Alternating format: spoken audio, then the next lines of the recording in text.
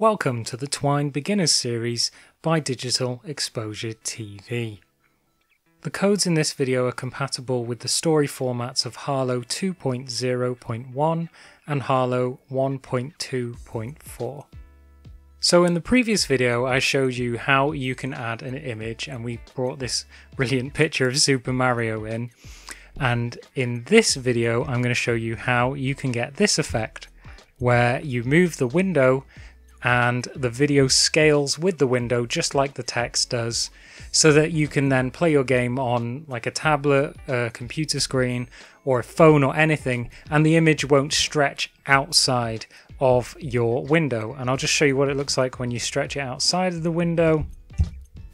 It will look like this. See how it's too big and it's not scaling with the page? Well to make it scale with the page all you need to do is go to the uh, page that you've added your image to. This is our image code here. And make a little bit of space and paste this code in.